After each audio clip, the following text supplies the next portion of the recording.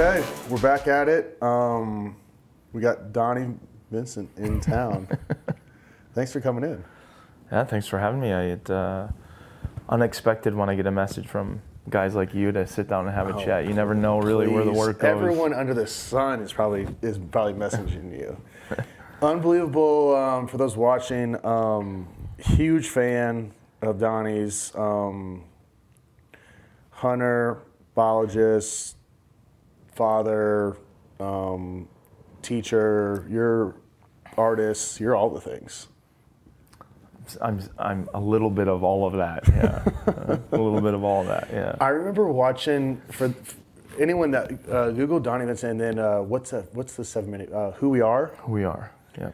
That was like the first, my first thing that I saw of yours, and I was like, this is completely different than anything in the hunting space, by far. Yeah. It was. Uh, And kind of everything you've done, kind of your probably your whole career, has been different than the traditional hunting space does. Hundred percent. It's uh, who we are was uh, wasn't even supposed to be seen publicly. Oh, we, really? we made that privately for National Geographic because they wanted to do a TV show with us, with my crew, and and uh, they were pitching ideas to us that we didn't like, and and um, so I pitched an idea to them, Mm-hmm. or rather our crew pitched an idea, where I would go and live with different tribes that still hunt and fish and forage for a living. So I would go and live with them In um, all over the world All over the world. Okay. and um, and just kind of experience their culture. And so, uh, but they were basically against hunting, and so they asked me. They said, "Hey, National Geographic. National? Geographic," and they said, unapologetically, please just kind of build us a piece and teach us why you hunt. Tell us why it is that you hunt, so that we can try to understand it. We'll bring it to our board. Sure. We'll let them watch it. And it, they said, you know, it doesn't have to be cinematic. Just do it.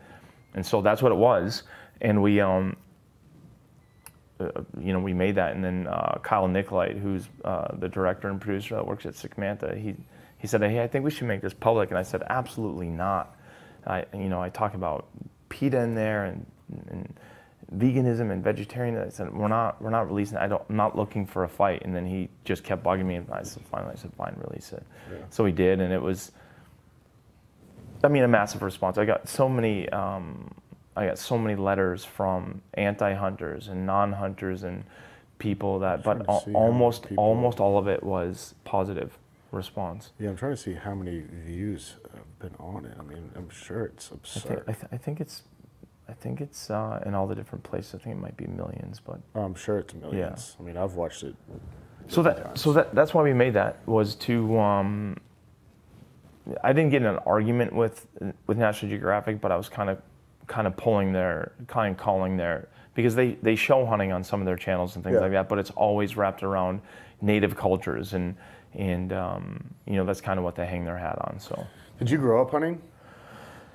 I grew up, that's all I thought about when I was growing up, but I don't come from a hunting family. My father, uh, you know, he kind of, he owned some guns, and but what really inspired me beyond words, uh, he had a, quite a book collection, and, you know, he had books on, and I didn't, I didn't fully understand this growing up, but then Where'd you I, grow up at? Connecticut. Oh, really? But then I realized my, my grandparents gifted him all of these books when he was a boy. So there are things on wilderness survival and wilderness cooking and hunting, fishing, and and uh, and I just would read these books when I was a kid. But this is literally all I've ever wanted to do. Really? There's a fascination with wildlife, and then turned into a you know I didn't realize why I wanted to hunt when I was a kid. I just wanted to hunt, wanted to go places, wanted to uh, have a weapon in my hands, wanted to take an animal's life. And at first, it was kind of you know me versus the wilderness. Like I wanted to be strong and fit, and I didn't want to be afraid of bears, and I wanted to shoot big rifles. And then I went on my first hunt, my first big game hunt for black bears in Alaska. And as soon as I had my first real encounter with a bear, How old were you? probably in my early 20s. And um, when I saw that bear, I realized how much I didn't want to shoot it. Yeah. And just watched him move. And, and I was sitting on a beach, and there, there were herring gulls squawking, and, and, um, and the, the tide was coming in, and salmon were, were running up this little stream. And I was sitting on a log, and I saw that black shape kind of materialize from the forest, you know. And And then I started looking at him rather than just looking and saying, hey, there's a bear. I'm going to raise my rifle, put my crosshairs, and kill it. Yeah. I started watching the bear. You know, I started looking at his body, his nose, his toes, and watching him kind of be a bear. And and uh, and I didn't shoot him. And then that night, I was living on a uh, I was living on a fishing boat that was converted to kind of like sleeping quarters. And uh, the captain of the boat, he just ran me out. Of we were in the Prince William Sound, and uh, he ran me out uh, for probably 10 days. And so that night, he and I were having dinner, and he asked me, he said, Did you see any bears tonight? I said, Yeah, I saw a big one. And he said, Oh, how come you didn't shoot? You know, and I just said, Yeah, I don't think I'm going to shoot a bear. And, um, and, he, and he started asking me why, and I just said, I don't know. I just started watching his, his eyes, and I could see him.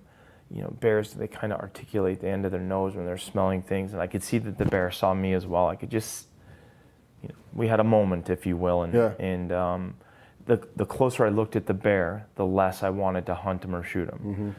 And so I was telling this to Ron. His name's Ron Johnson on the boat, and he he he just said, "Hey man, like I think you're more of a hunter than you realize. The things that you're saying to me Yeah. is what makes a hunter." Yeah. And uh, he, he's like your appreciation, understanding, and, and kind of um, being enamored with that bear is part of you entering into predator and prey, mm-hmm. part of you entering into the ecosystem, and part of you, you know, we have to kind of remove ourselves from being human and, and kind of enter into the, the ecosystem and become part of it. And so, Yeah, you, I mean, because I mean, you, you, you, way you, I mean, you talk a lot about like you know the responsibility of killing an animal mm-hmm. and being out there. I mean, and you go out there for two, three months at a time, and like you were in in that space, yeah, and I don't. There's not a lot of people out there that hunt. Like most people think they just go hunting, and you know, pull the trigger and that's it. yeah, And there's a lot more to it than just that. yeah.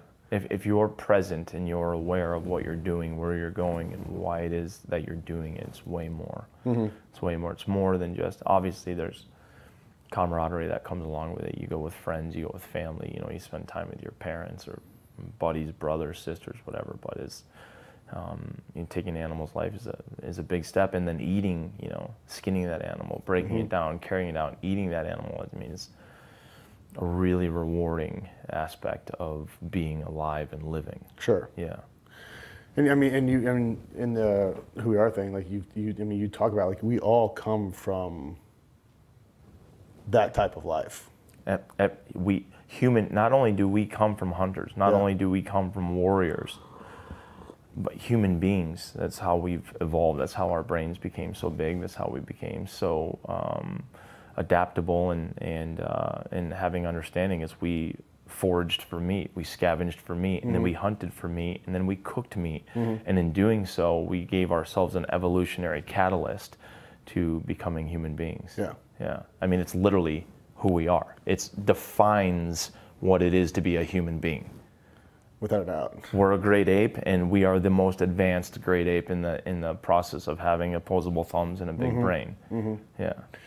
Well, I mean, we live in a world like where I feel like the hunters, like a lot of hunters, are, I mean, looked down upon be- be- because of you know shooting and killing Yeah. animals and stuff, Yeah. and it's just that's not really the. We wouldn't be here if that wasn't the case. That's true. Yeah, and, and you look at any population of people, right? You can, you know, um, there there are stereotypes that people kind of, you know, they want to categorize people in, and and hunters unfortunately have, you know, slipped down into to having this. But a, a lot of other cultures that you go to, the hunters are revered, right? They're they're the they're the um, the village elders. They're the you know the like if um, I spent time in several different Eskimo villages, and they're always really quick. And I'm not necessarily there um, hunting. I I've spent a lot of time in villages doing research, and and uh, they're always quick to point out who the best hunters are in the village. Oh, really? Yeah, always really quick to point out like yeah that's. Uh, that's Joseph. He, he, man, he gets a moose every year. Really? He gets a moose every year. He's really good fisherman. He gets his moose every year. You know, they're always, and uh, you know, I did some work in Bangladesh, and and there's no hunting in Bangladesh. Um, I was there studying tigers, but um, the gentleman that I was working for, Dr. Dave Smith, he he, uh, you know, he said, hey, if, if, if they bring up hunting, you know, you can tell them about hunting, but um, just understand that uh, these people here, they're not hunters. They're the biologists that you're working with.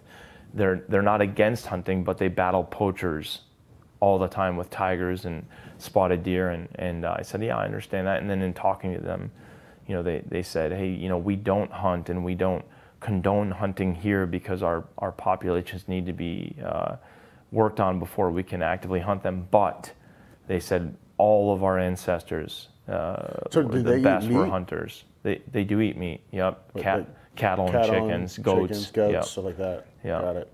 What were you do? What were you studying tigers? What were, what were you doing? um, in Bangladesh. I did a project in Bangladesh and a project in Nepal. Uh, the one in Bangladesh, we're uh, in the Sundarbans. It's the world's largest mangrove swamp. Uh, sits on the Bay of Bengal, and we were basically driving what looks like a gondola. We had a we had a mothership that we would travel on the big systems, and then we would get on these little gondolas and we'd go up and down millions of miles of, of canals looking for tigers uh, or tiger tracks called a pugmark. And so we're basically every time we would see a tiger or a track, that's an event. And so we're trying to map out where the tigers are in the Sundarbans and how they're using it, and then trying to come up with some um, level of population. Incredible. It was How long were you there? I w- uh, just a couple of months there, and then I was a couple of months in Nepal. Yeah, and I wish I wish I could experience that now because it was when I was fresh out of college and. and Where'd you go to um, college? University of Minnesota. And so I just, um, I don't know, I just would appreciate it so much more now. But it's a dangerous, it's a really dangerous place. I'm sure. Yeah, Bangladesh is really dangerous. Lots of uh, So what did you study in school? wildlife biology and, and then uh, just scientific biology. Were Yeah. you hunting in college then too? Oh yeah, yeah. I was, I was. I mean, I wasn't literally going to Alaska every year. Um, still, and I Really? travel up to the Arctic Circle and go hunt caribou and and uh, yeah, I remember I wasn't. How did you get? I mean, going to Alaskan Arctic Circle. I mean, that's a huge event. Like, how did you how did you figure that out and, and get hooked up there? I wanted at to such at such a young age. I wanted to see caribou migrate, so I just started looking at where the herds were and then where I could fly and kind of um, get to. And so I, I, I would fly into Anchorage, and I'd fly from Anchorage to Kotzebue, which is way up on the, based on the Chukchi Sea, way up in the Arctic. Were you doing Um, this in the summers? No, in the fall, in, the f- September. In in while you're in school. Yep. So I would take a couple of weeks off and I go talk to all my professors and You're say, like, "Hey, "Hey, I, I'm going I have to go do this." this." Yeah. A couple of times I, a couple of times I would lie. A couple of times I would say, "Hey, family emergency," Yeah, or gotta go. Gotta go. Yeah. Yep. And then I'd come home and I would just buckle down and I mean I. I remember packing for a trip by candlelight because I hadn't paid my electricity, hadn't paid my water, Mm-hmm. Yeah. but I was going to Alaska, Going to Alaska. to hunt caribou. hmm Yep. With a gun. With a gun back then, yep. Yeah. Yeah, because when I was younger, I wanted to be a rifleman, right? That's what I, that's, everything was about being a marksman, uh, learning guns, learning calibers. I was reading every book that I could, and, and, uh, and I still, I love rifles. I love shooting them. But, uh, but once I started shooting a bow and the, the quiet and how close you have to get and the fact that you have to lay, you know, face down in the in the dirt for a long time to get close to an animal and you that hard. that engagement that I had in the beginning watching the black bear Yeah. Um, me not shooting that bear but watching him come because he walked you know he walked past me at 10 yards and he mm-hmm. fed on salmon at 10 yards so watching him uh, archery hunting kind of brings you that right if you have a rifle it's very easy to lay that not easy but to lay that rifle on a log or backpack get on the bear squeeze the trigger you're successful Yeah. with a bow, I have to crawl amongst those logs and get closer and closer. And in doing that, I open myself up to that experience of watching him really close and getting really close. And then also you're unsuccessful a lot, which kind of gives you that you get to keep working on your craft and, and uh, you know, makes you, not to alienate women, but it makes you feel like a man, right? It's, it's, uh, and then now I'm shooting a traditional bow, which is, it's, it's just it's super rewarding watching that arrow flight. And I mean, you gotta be. I mean, you gotta be within 20 yards, right? 30 yards. Oh, with a- with a trad? With, yeah. Yeah, I mean, within um, for me right now, the the way I'm shooting and I'm working on my skill all the time, probably 30 yards, 35 yards, I'm relatively comfortable with. But uh, you have to be close. really close. 20 yards, 25 yards. That's a slam dunk for me with a with a trad bow. And how fast are those things going? That's a uh, great question. Because I mean, like the compound bows. I mean, you're 350, Yeah, 300 feet yeah. per These second. things are. That's a really good question, and it's probably around. 200? No, no, no. It's like probably around 200 Yeah, feet per second. I don't, I don't know, but I'm shooting a pretty big heavy arrow, and yeah. and my bow is 50 pounds, and I'm pulling. So it does a trick. Yeah. You just gotta be tight. Oh, it'll do the trick. Yeah. Like it'll because it you know every every you know physics every action has an opposite and equal reaction. So even though my arrow is going slow, it's tipped with a with a scalpel, Mm-hmm. Yeah. and so when an arrow is going really uh, when a light arrow is going really fast when it hits the animal it meets a lot of resistance right because it's traveling really fast and it doesn't have a lot of momentum to go through the animal my arrow is traveling slow so it it has much less resistance plus it's a, a scalpel it's going to go it's going to blow right through Yeah. everything outside of a hippo or an elephant rhino is going to blow right through Have you done? Have you hunted in Africa? no i've been invited about 50 60 times but i've never been Don't want to. Australia is the only. Um, I was invited a bunch to Australia too. I have a. This guy would write me. His name's Nick Joyce. He'd write me. I showed you a photo of him last night. He'd write me all the time. Hey mate, I want you to come to Australia, and I would just kind of blow it off. I get invited to go a lot of places, and uh, and so finally he kept bugging me, and I said, all right, Nick. You tell me what you think. They're, they have these animals. They're uh, called Asiatic water buffaloes. They're they're introduced to uh, to Australia from Asia for uh, for food, and then they've just kind of like taken over the country Sure. in Northern Territory. So finally, I reached back to him. I said, Nick, you you tell me about the buffalo because I wanted to see if he was going to say, oh mate, they're big dumb animals. You know, we need to kill as many as possible, but Sure. he didn't. He said, "Hey, he's like, mate, these things are amazing. They're fascinating." He's like, "I know they get talked down about Yeah. being big dumb animals, but he's like, they're anything but. They're very cunning. Um, how they move around their space. He's like, they're very tough. They kill people every year. They're you know really." Um, uh, really steadfast animal. They defend themselves um, with absolute force. And so his answer, I was like, yeah, I'm coming. And so we went up there and we lived in the bush. You know, we, we would travel. I flew to Sydney, from Sydney to Darwin. From Darwin, I got in his Hilux, Toyota Hilux. We drove six hours on pavement, then six hours on dirt. Then we hit the jungle and drove another six or seven hours through the jungle. We had to cut trees down. We had to go through, you know, we had to winch across rivers. And, uh, and I look at Nick and I say, Yeah, is there a, a lot of buffalo here? He's like, I don't know, I've never been here.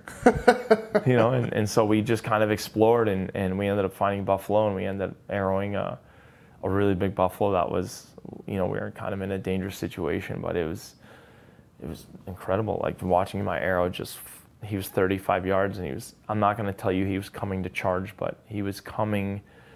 They lower their head down and they kind of like touch their knee when they're feeling aggressive. And that's what he was doing. You know, he's kind of lowering shoulder coming to us. And, and it was kind of now or never. And, and Nick showed me this little triangle that's perfect on them to, and I came to full draw. And it's when we come out, when the film comes out, it's going to be sick because I had a guy filming right down my arrow shaft, and then another photographer. And basically, like I had to kill the bull, or like if I messed it up, we're going to be in big trouble. Really? I, we didn't have a gun, and Yeah. there, the nearest tree was probably two miles away. And so I just came to full draw, and he was just stepping, and I just found my spot and just boom, arrow away, and and um, you know, it's, I don't know how much they weigh, three thousand pounds, but my arrow buried to the nock.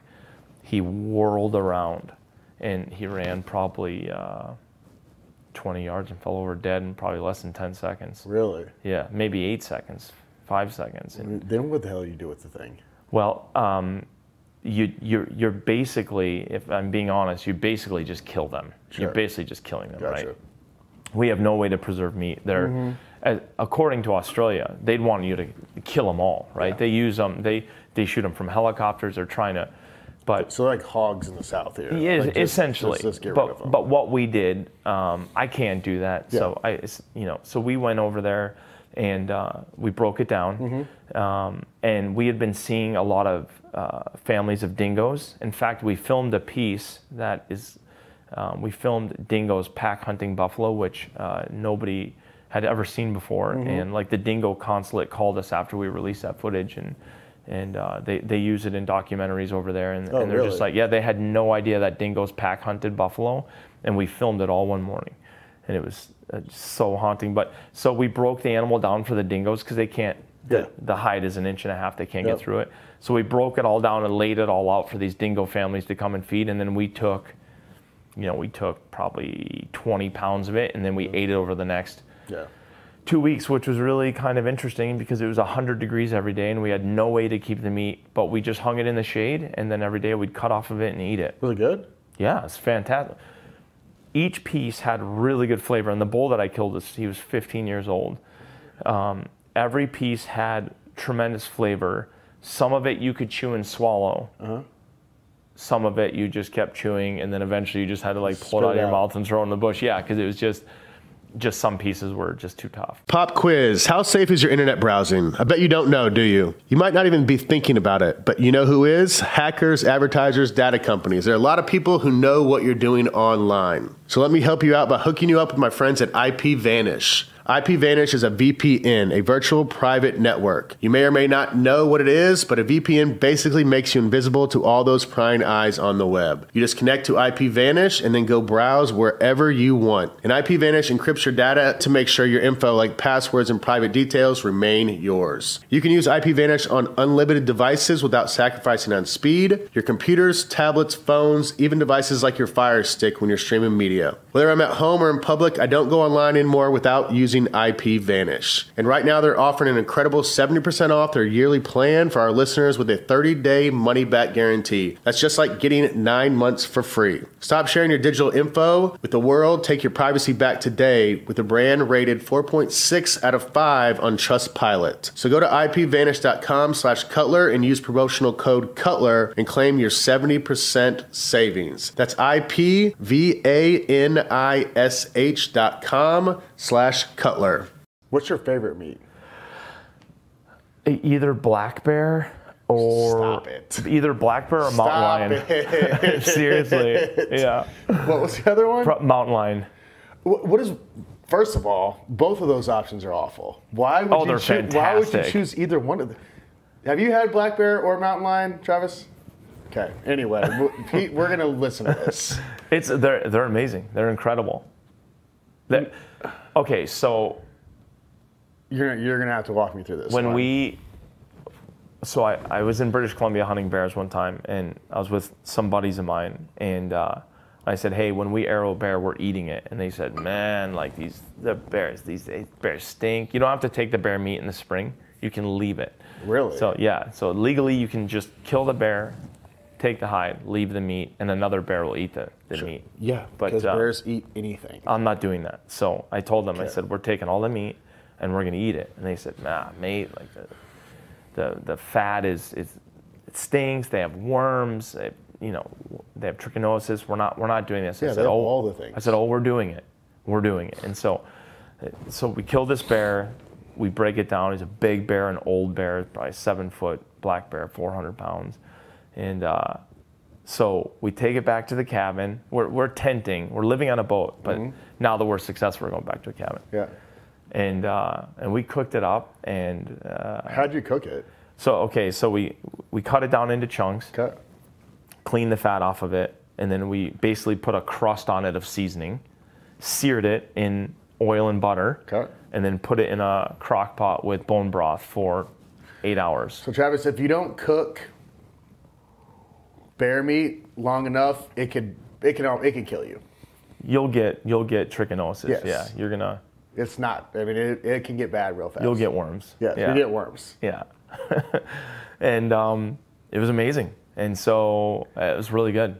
Really, I mean- and we ate the whole bear. It's like a roast. It's like a you know. A, Yeah, uh, it's just how you know if if you were to cut a steak off a bear, put no seasoning on it, throw it in a pan, it, you know it's it's probably still going to be really good, but it's it's um it's not going to be as good as if you take the time to prepare it.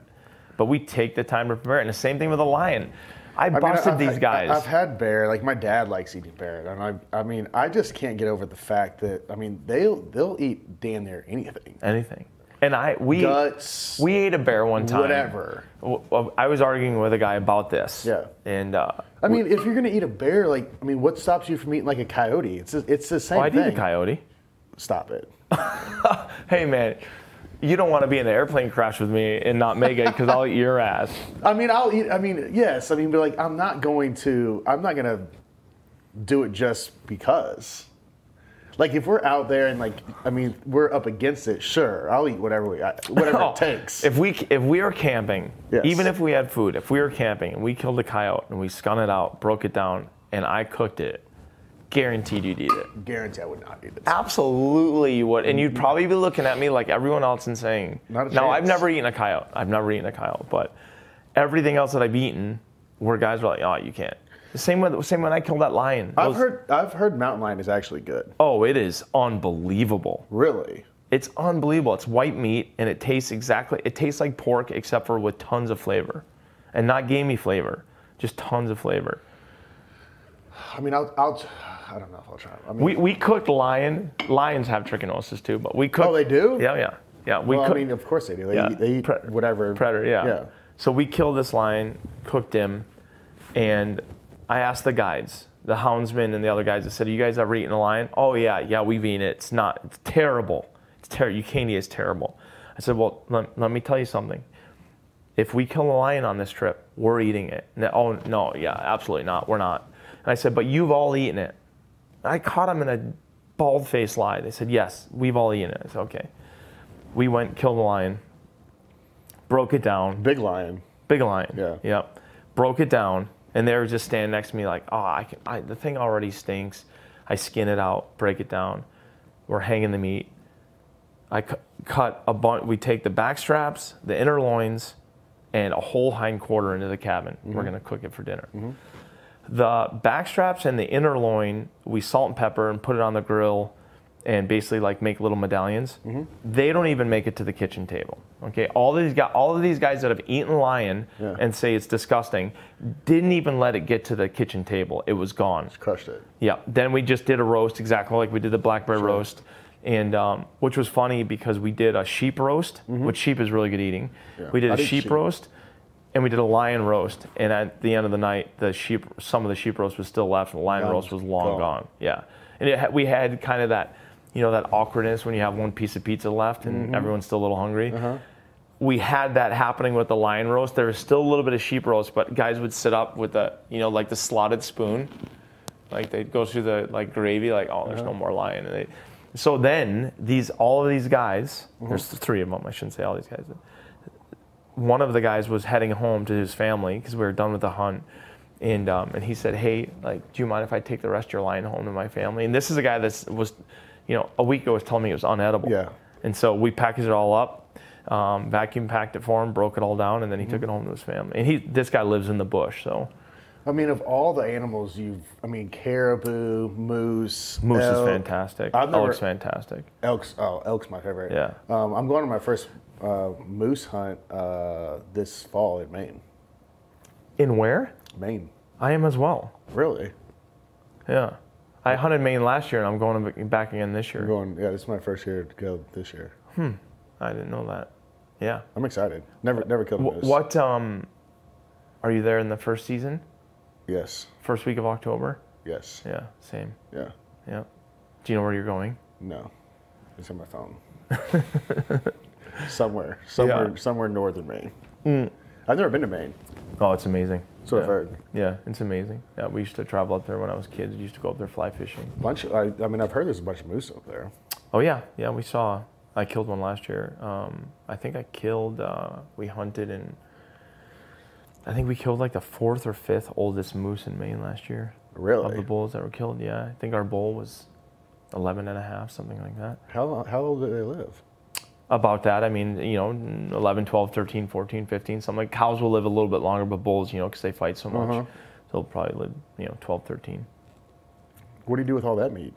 Give Eat it. away? Eat I'm it? almost out. Oh, really? Well, you know, I shared it with the Sure, crew. yeah. Yeah. but like I'm Take it back as much as you can. Yeah, in fact, I just text uh, William Altman, our director of photography. I said, "Hey, how you doing on moose meat? Because you know, like I might have you, because he lives in Maine. Uh-huh. So I'm, I told him I might have him ship a box to me because I'm almost out of mine.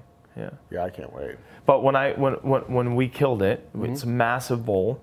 We broke it down, and then um, I had to go. We were going to do some waterfowl hunting, so we broke it down to quarters, and and then uh, dropped it off at a local butcher. And he's he's like, I'll get it all butchered up, Donnie, and, and packaged for you. And I was like, great.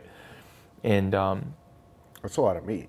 oh, I went back to his place, and I walk into the back of his shed, and he has these massive upright freezers. So I see one with my name on it, and uh, I open the door, left to right, up and down, back to front. You could not put another package of meat. I mean, literally, it was a wall of meat in the exact shape of the freezer. And I opened the door and I looked back at him and I said, "Hey, which of this is me?" And he's like, "Oh, all of it." All of it. Yeah. It was like 650 pounds. Really? Yeah. Yeah, it was a big bull. Yeah. So I mean, an elk like you'll only get you know maybe 300 Yeah. off of them. Yeah. 250 mm-hmm. or so. It's a me- and you're hunting. You know, this these are Canadian moose, eastern eastern Maine Canadian moose. Mm-hmm. So they're measurably smaller than Alaska Yukon moose. Oh, they are. Yeah. Oh yeah. Yeah. Yeah. Yeah. They're, you know, a big Alaska Yukon moose is 15, 1800 pounds. The animal you're going to kill there is going to be like eight, 900, 950, something like that. What's your favorite thing to hunt these days? I mean, it's it's just about the hunt. I it it's where I go. I, I mean, I love whitetail deer, wild turkey. I love waterfowl hunting. Love mountain hunting. Love bear hunting. It's Just all of it. Yeah, it's- just being out there more than anything. yeah, it's more it's more um, the experience than what I'm hunting. Right? Even this is gonna sound silly, but even going on a squirrel hunt in uh, you know, if I'm in the right place and and uh, experiencing the right things, it it's incredible. Yeah.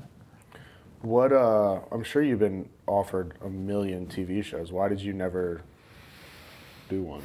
I didn't want to. Um, I didn't want to constrain the story down to 22 minutes, and I didn't want to deal with companies in the hunting industry. I didn't. I didn't want to have to. Um, basically, the model in the hunting industry is you purchase airtime. Yep. So basically, you're buying yourself a TV show, and then you have to you put your films together or your pieces together, your content, and then you have to go to companies, bow companies, gun companies, backpack companies, sell yourself, see if they'll give you a sponsorship. You record a commercial on your show, or they give you a commercial to air, and then Yep. um, you try to get these companies to cover your airtime, and then you keep the rest. And that was just I. had No interest in. I just wanted to tell stories. And When did you. When did you start um, filming hunts? 20 oh I, I mean i filmed hunts all like all through college i filmed all those hunts Oh, really? the handy cam like get Yeah, up in the yeah, get up yeah, in the morning and Oh, so you were doing it then. oh hold the camera on me and oh yeah The little is- videotape ones. yep, little sony Uh-huh. this day one i saw a massive grizzly bear last night the northern lights were out you know that type of stuff and then um uh, and i loved like i and uh, so i started doing it basically so i could just rewatch my experience and Sure. just take me back to that Yep, place Yep. and um, and then we started professionally filming them in 2011. Is that when you started your production company? Yep, I went and worked with another gentleman in his production company, and uh, and I didn't like him.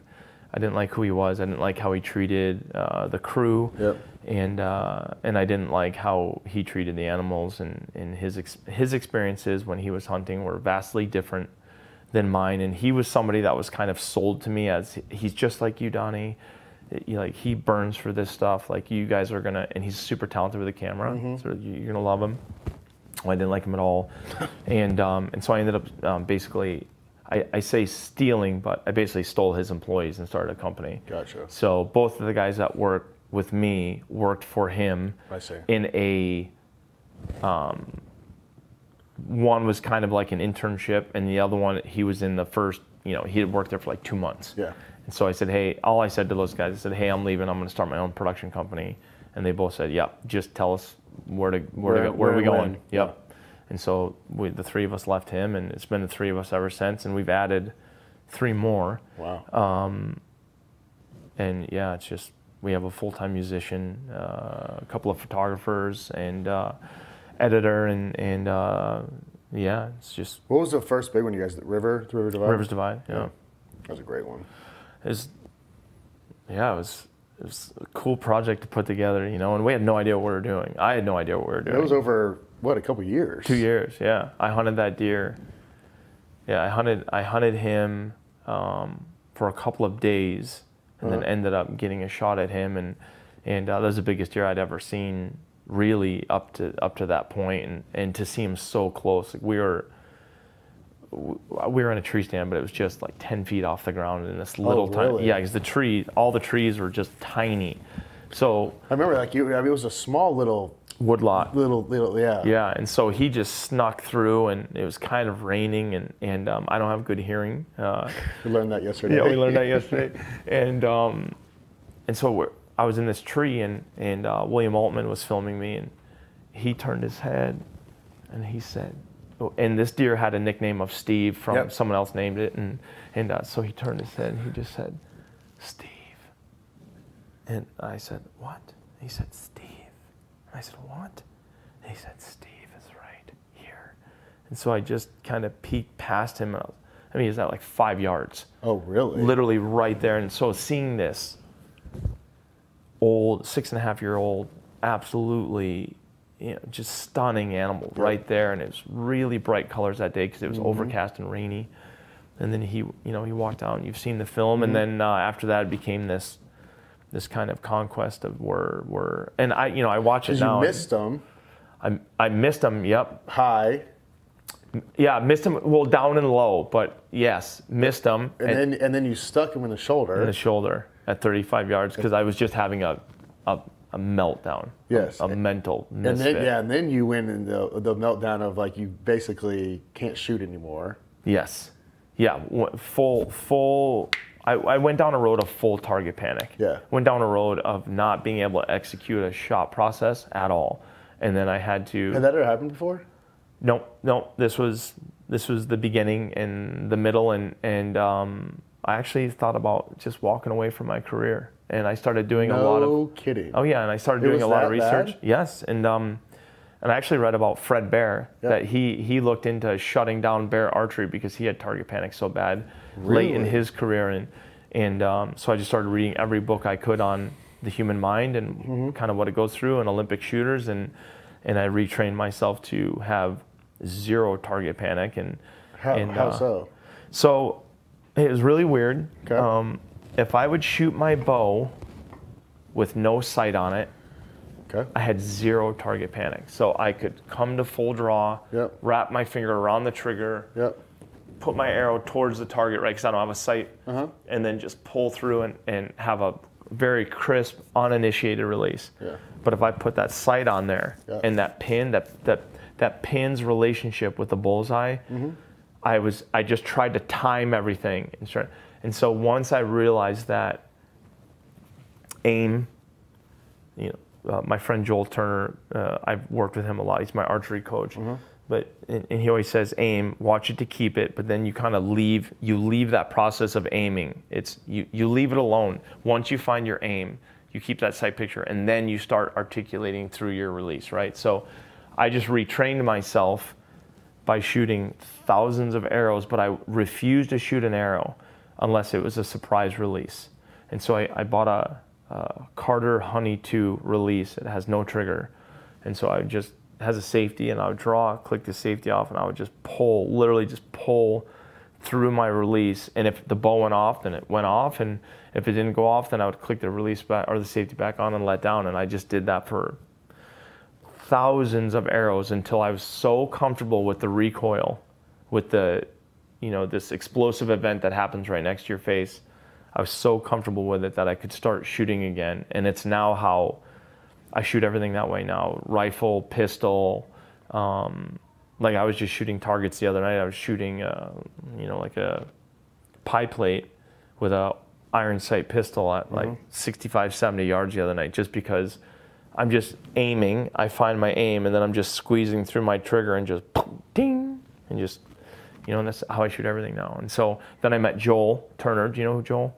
Uh, I've heard of him. Yeah, he runs Shot IQ. He basically was going through the same thing. He had target panic um, from when he was a little kid, and and um, and then he started looking in the human mind, and he really found the the back door, if you will. He really found what is the short circuit, and so he built a training program called Shot IQ.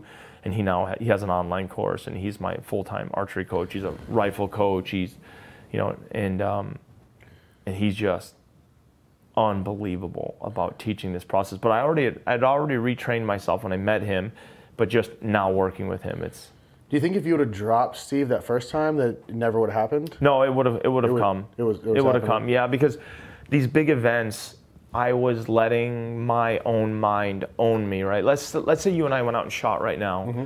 and I'm sitting there going, "Oh my God, I'm shooting today with Jay Cutler. Like God, I just want I want to hit the bullseye." And so what I'm doing is I'm trying to take my pin. For anyone that doesn't understand this, I'm trying to kind of do this drive by. I'm trying to rather than just let my pin hover.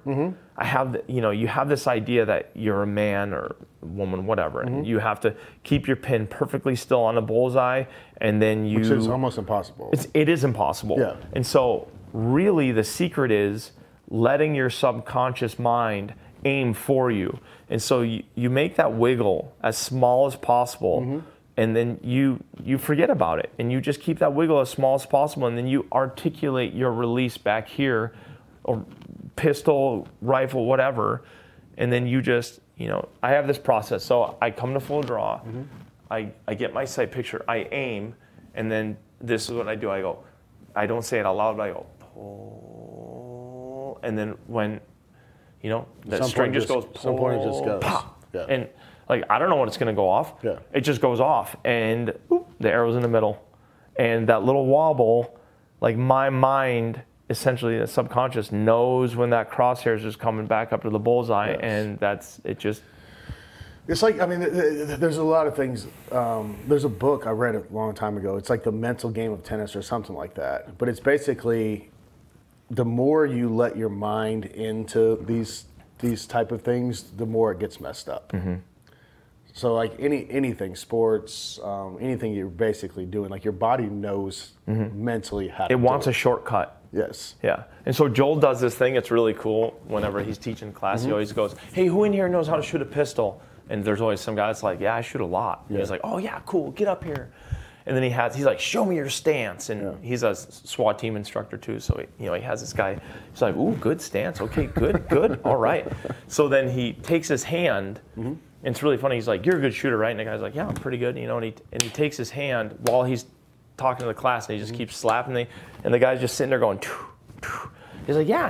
And so this guy's shooting, right? And he's just shooting. Then he brings his hand and he misses the guy on purpose, and the guy goes, and Yeah. he's like, oh, what are you doing there? Uh-huh. He's like, and that's what you're trying to get rid of. Yeah. You have to get rid of that because that push is your timing when the gun's gonna go off. You're timing to push against that recoil. Yeah. And when you do that, you're pushing literally everything off.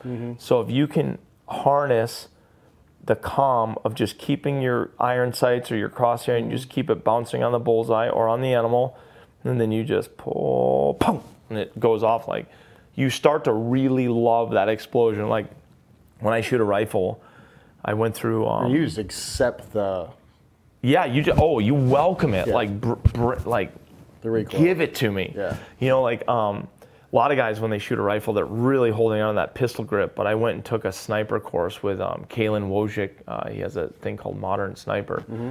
He's an amazing shot. He's a scout sniper. I have a couple buddies that are um, scout snipers, and so they made the introduction. But you know, he the prop he was showing me proper technique to shoot rifles, and so I'm keeping my thumb now off to the right side of, and, and my cheek is just buried onto the stock, and I just find that crosshair. You know, my cheek is just in there. I click the safety off, and I'm literally just going through the trigger pull. You, you keep you say you keep your thumb off of it. yeah, I keep my thumb off to the right So instead you're, you're literally just one finger. literally just- one finger, and the, you know, looking through. The, I see my sight picture and just Yeah. and and like and we're shooting like 1200 yards or whatever Yeah. and so he, he makes me like we hike up in the mountains. He's holding onto my belt. I'm hanging over a cliff. He's like okay you see that little steel target down there? And i'm like Let it fly. uh, yeah. He's like okay now. So i'm same thing. I'm shooting straight down trying to he's trying to get the heights in my mind. So i'm just sitting there and just boom, ding. And it's cool like uh, when we're shooting long distance you know i'm just sitting there and gun goes off and I turn and look at him and he already has a huge smile on his face because he watched the bullet hit through a scope and then and then we hear the ding, Ding. you know and so that that you know that whole event with Steve and it was funny because William you know when you film a hunt like this when you film a story you do things that are not natural so for instance if I'm going to go shoot my bow um, I don't just go shoot my bow we find this is okay. So we find a pretty place to shoot the bow, and, and it's I mean, who doesn't want to shoot their bow in a, in a pretty place anyway? So we find a, you know, we set the scene just like making a movie. We set mm-hmm. the scene, shooting a bow. And so then, you know, William's filming it from far, you know, medium, and then he's mm-hmm. going to film it close. Mm-hmm. So I come to full draw and I have my trigger, and he's like, okay, Donnie, just wrap your finger around the trigger and then just pull it as slow as possible. I'm like, okay. So I wrap my finger around the trigger and I just go, as soon as my finger gets on the trigger, I, I shoot it. He's like, oh, okay, no, don't shoot it. You know, so then I couldn't. I couldn't, Jay. And this was the beginning of it. I could not, as soon as my finger hit that trigger, It's gone. I, I instantly went into this rush mode and, and then, you know, I retrained myself. And now I, everyone, everyone that shoots anything, pistol, rifle, bow, needs to contact Joel, needs to take his course. I think a lot, most people do not shoot weapons correctly or well. And most people, I think, suffer from this anxiety of shooting, particularly when they're around a group of guys. oh gosh, yes. It's and a lot uh, of pressure. There's a lot of pressure, And, but and, and it's a lot of pressure shooting on film too. oh, tremendous. Because I mean, you're, I mean, you're, what you do, like you're basically hunting like one mature animal, Yes, and you get maybe, maybe once, maybe twice. maybe. Best case scenario. Yeah, and sometimes like you're sitting there, you know, like when we're hunting sheep, there's three, four of us. Yeah. We, everyone has 85 pounds on their back, Yeah. and we just climbed a 6,000. You know, we we hiked 25 miles to get here, and we just climbed 6,000 vertical feet. And there's the ram at 65 yards, and they're counting on you to make the shot. and you know, and you're gonna get one opportunity, and then if you mess up that shot, you have to turn around to the other two guys and be like, we have to head back Sorry, boys. yeah. And so it's just, it's a lot. But you teach yourself this process, and um, yeah, it's it, it's it's a really rewarding way to shoot. And now you're doing it with a traditional bow, which is even harder. Yeah, You just made it. You made it even hard. You went from gun compound, and now you're shooting a a, a stick with a, a string on it. Yeah. yeah. So that's what make that's what makes it tricky with the trad bow. Um, Like Joel always says, he's kind of a jackass about it, but. You know, I'll say, yeah, I can shoot out to about 30 yards. He's like, why does why does distance matter? Well, distance matters because everything has to be perfect, and you have to know your aiming point out to these certain distances. Sure. And if anything is wrong, um, your arrow is off too much to take an animal's life. And so, you know, you just have to. But if, like for instance, right now for me, 30 yards and under, it's like every time I shoot, the arrow lands in the kill zone. Aside from if I have, you know, some sort of, you know, like a, just a horrible shot, like mm-hmm. you know, something goes wrong or whatever. But Uncut with Jay Cutler is brought to you by Progressive Insurance. Most of you listening right now are probably multitasking. Yep, while you're listening to me talk, you're probably also driving, cleaning, exercising, or maybe even grocery shopping. But if you're not in some kind of moving vehicle, there's something else you can be doing right now. Getting an auto quote from Progressive Insurance. It's easy and you can save money by doing it right from your phone. Drivers who save by switching to Progressive save over $700 on average. And auto customers qualify for an average of seven discounts. Discounts for having multiple vehicles on your policy, being a homeowner, and more. So just like your favorite podcast, Progressive will be with you 24-7, 365 days a year, so you're protected no matter what. Multitask right now. Quote your car insurance at progressive.com to join the over 27 million drivers who trust Progressive. Progressive Casualty Insurance Companies and Affiliates. National annual average insurance savings by new customers surveyed who saved with Progressive between June 2020 and May 2021. Potential savings will vary, discounts not available in all states and situations. I talked to, um, you know, uh, Cam Cam Hanes. Like he's he was he shoots out to like 300. It's absurd. Yeah, Like literally absurd. yeah, and he just lets his like it, to to people it, it looks like Cam shooting 300 yards, but to Cam, he's just letting his pin bounce at a different, you know, like so he's so the target's there, and he knows that if he aims at the top of this telephone pole, his mm-hmm. arrow's going to be about there at 300 yards. Mm-hmm. So he just lets his pin. He's not aiming at 300 yards. He just lets his pin bounce around at the top of the telephone pole and Yep. does his release, and lo and behold, there it is in the balloon at 300 It's- yards.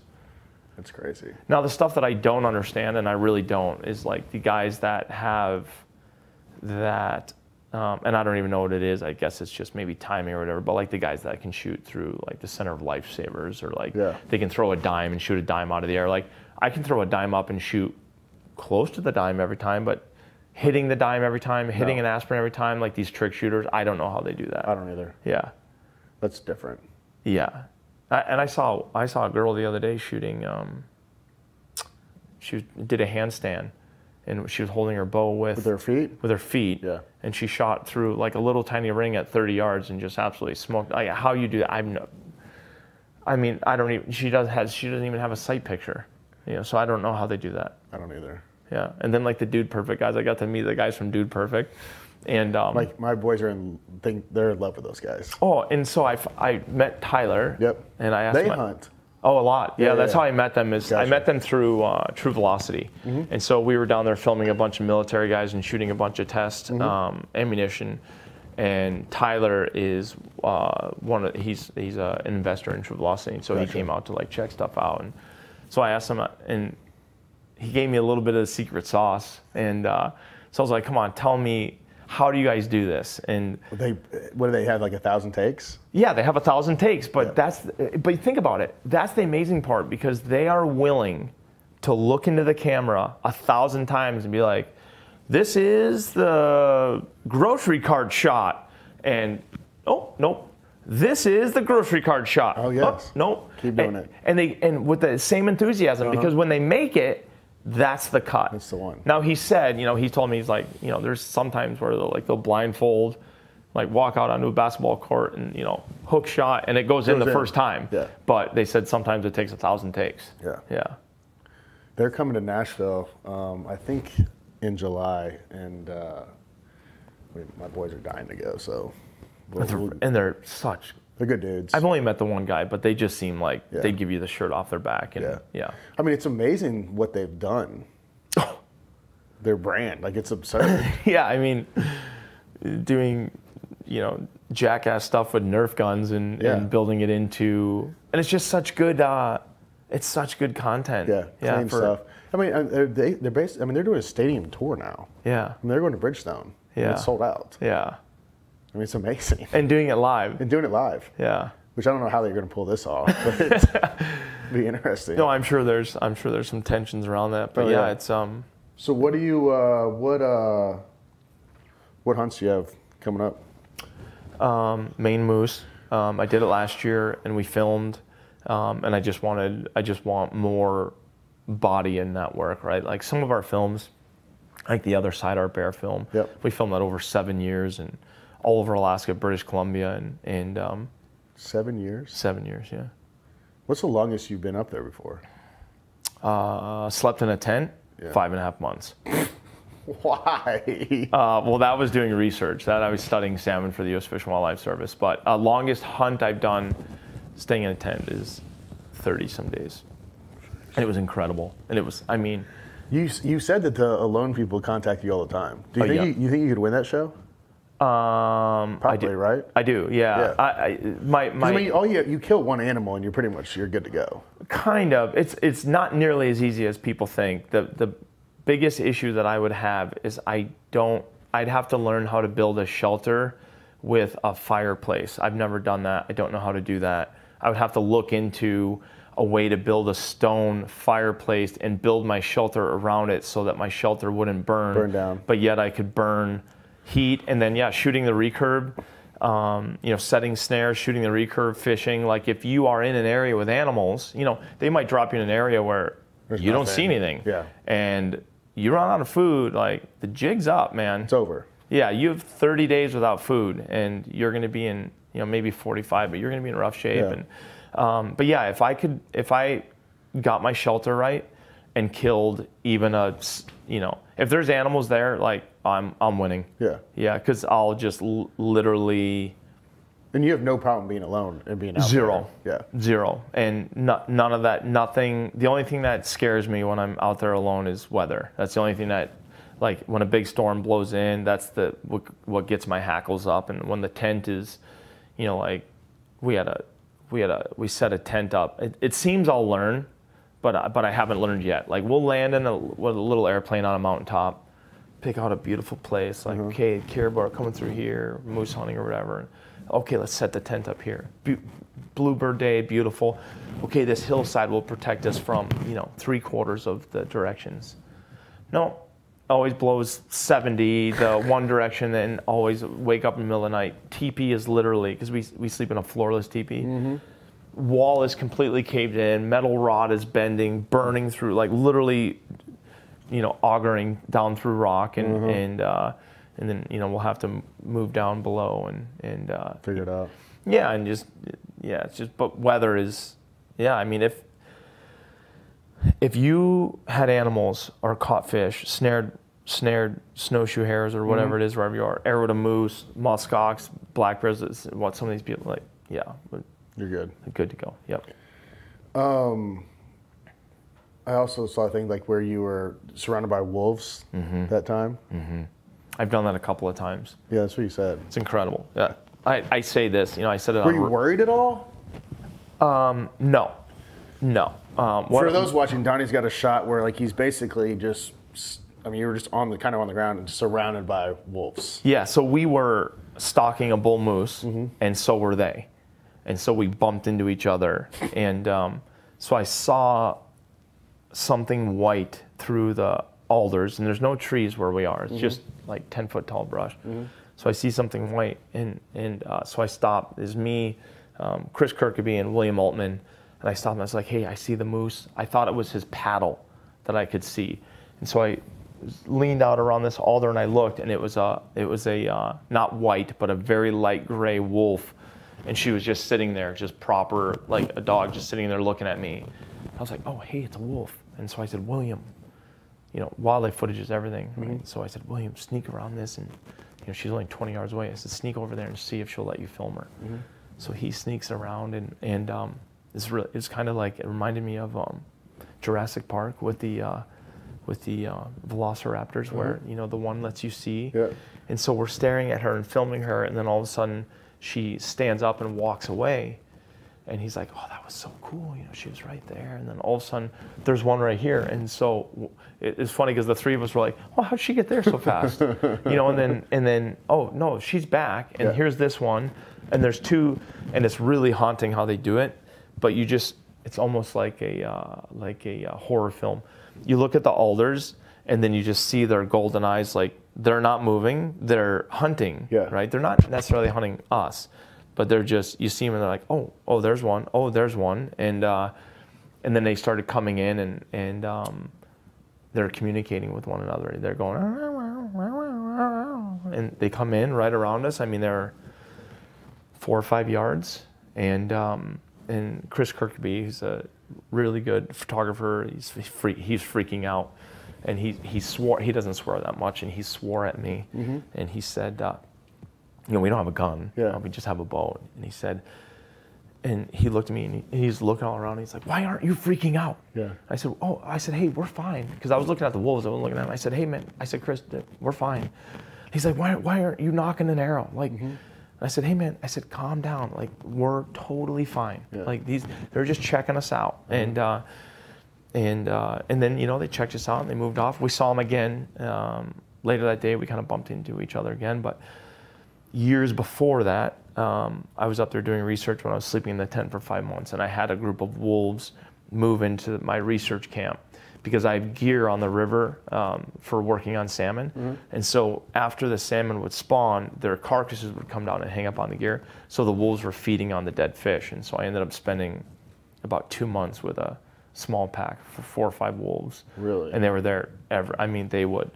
And I did. I, I'm not proud to admit this, but I tried to feed them a few times salmon. Like I tried. They would never take it from my hand.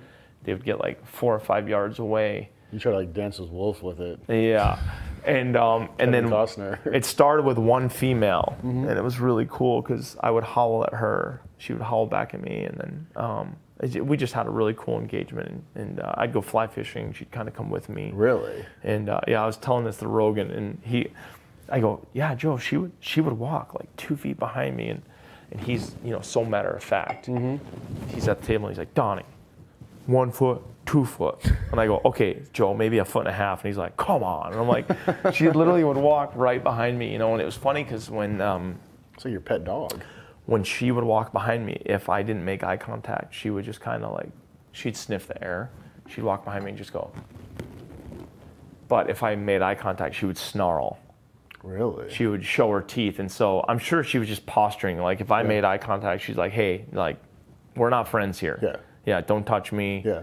if you come at me, you're you know We're, it's on. it's on. Yeah. So and then all of a sudden then there was another wolf, and then um, I had a wolf howling on. Um, we would set up these planks in the research camp so that we weren't walking on the tundra because the your footprints will impact the tundra for hundreds of years by just stepping on it. Really? Yeah, and so we would build these planks to walk on. So it'd be a log, like a Lincoln log, Lincoln Yeah. log, and a two by four. And so we just like balance beam to all the different, like to the research tent, to the kitchen, to all these different things.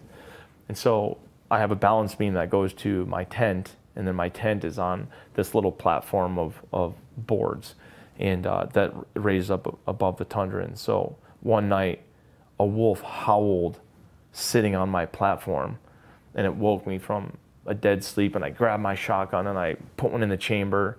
And I was just sitting there, kind of panting, like something woke me up, something right here. Mm-hmm.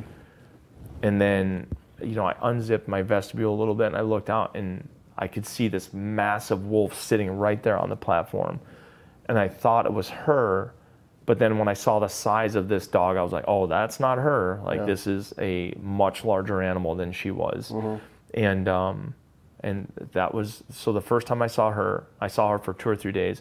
Then he showed up. And then there, I think there was two others, maybe three others. I, I never saw all of them at once. Yeah. So I had to kind of look at their markings. And then, um, and then the other thing that happened that was really uncommon in, I mean, in, in my life, is I would go on long hikes for exercise, and um, they would freaking go with me sometimes. Really? So they'd stay out like 100, 200 yards, Mm-hmm. but they would literally flank me, and like they would just go on this giant walkabout too, and and you know, and then you know they would disappear, and then I wouldn't see them for two days, and then they'd show up again, and yeah. I mean, I guess with the amount of time you spent out there, it's That's not what it that, is. It's not that. No, that's what it is. It's just when, when, and that's the thing. Like when I go on these 30 day hunts, that's Mm-hmm. the thing. Is like, you get there and the bugs are bad, the leaves are all green, the grass is tall and green, and in 30 days, you're leaving and everything's frozen. The leaves have already went through their full transition of color and have Yeah. fallen off. Yeah. The moose have went through having dark chocolate velvet on their antlers to stark white antlers and going through the whole breeding season. Mm-hmm. It's just when you're in the Arctic, 30 days is fall. Really? 30 days, you're experiencing all of fall from summer to winter's To here. winter. Yeah, in 30 days. So if you get there September 1st, which I've done, Yeah. and then you leave October 1st, I mean, you're showing up and probably hunting in a t-shirt or a light rain jacket, and you're leaving uh, potentially in a blizzard. Really? Yeah, That fast? that fast, 30 days. Jeez, Yep, that's wild. it's crazy. It really Yeah. is. Yeah. All right. Um, where can people find you? Um, DonnieVincent.com is, um, you know, I, I, I need to be better about getting myself out there. I need to be better about social. Uh-huh. I'm, yeah, I, I've, You got a lot of cool stuff to offer. You got to get better at it. I do. I, I kind of, I'm, I'm, it's oddly enough, I'm a private person. Yeah. And um, I do things every day that I think, like right now, I'm sitting here with Jay Cutler in your studio and, Yeah. You know, I don't have any photographs of this, and but you know, it'd be really interesting to tell my audience that I did this today, and Yeah. and um, yeah, I just need to get better at it. Yeah, I, I wish I could just, um, you know, communicate and just get it done, but it's it's. I enjoy the writing. I love the writing. You're an incredible writer. I appreciate that, but I I um, yeah, I just need to get better at sharing my life with with um, with with people and Yeah. and um, yeah, and I yeah, there's there's gear that I want to build. There's um, you know, I'd love to take new people hunting and Mm-hmm. and uh, new experiences, and yeah, I just I'm I'm very easily entertained by by being outside. It's an amazing world out there. It is, yeah. All right, um, DonnieVincent.com. You can find Donnie on Instagram. Um, he's got a bunch of cool films. I, I, I'm, you got a bunch of stuff coming out. bunch of stuff coming out. Um, client work starts to kind of take over, but I just hired a second editor, so we're going to start really um, buckling down on films. Pushing some stuff out. And I probably have five or six um, films complete right now that we just have to build, and I have to write, and we have to come out. I'm excited that let's let's get writing. Let's get them out there. Yeah, I, yeah. We need some new. We need some new stuff. We're going to do that. Yeah, I, I want. I would love to have a body of work. Like by the time I don't know when I'm going to die, but it's probably not going to be of old age. But I'd love to have a body of work that people can enjoy after. I mean, you you have a body. I mean, just keep doing it. Yeah, and we'll keep after it. Cool. Um, I appreciate it. I appreciate it been very fun. much. This is a, a very uncommon um, opportunity for me to sit down and speak with a gentleman like you, and and uh, you know, it's it's uh, it, it is not lost on me. It's definitely been my pleasure. Oh no, it's mine. Um, check out Donnie. I mean, even if you're not a, a hunter or anything, his uh, his work um, probably open your eyes, inspire you a little bit. Um, it's it's actually it's it's art. It's true art, and it's uh, not many people do it the way he does it, especially in the in the hunting industry. So um, check him out, and uh, you'll be happy you did. Thanks, man. Appreciate it. Yeah, thank you. Cool.